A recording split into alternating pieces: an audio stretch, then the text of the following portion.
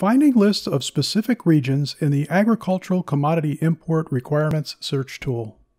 Use the Agricultural Commodity Import Requirements Search tool to find lists of countries that may have special requirements. Select the Region tab located in the main navigation toolbar on the ACIR home page. In this demonstration, we want to find a list of Khapra beetle endemic countries. In the Region search field, type KHA and you will be presented with two selections. Select Khapra beetle infested countries and select the Search button. A list of related countries is presented. Commodities in ACIR have already been identified as originating from Khapra beetle countries.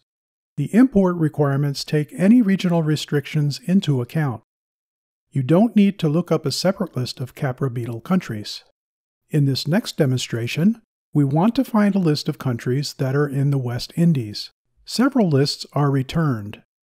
Select West Indies and Search. A list of countries in the West Indies region is presented. The list is helpful for users who are aware of additional restrictions for commodities from countries of the West Indies but are unsure what those countries are. Thank you for watching and using the Agricultural Commodity Import Requirements Search tool.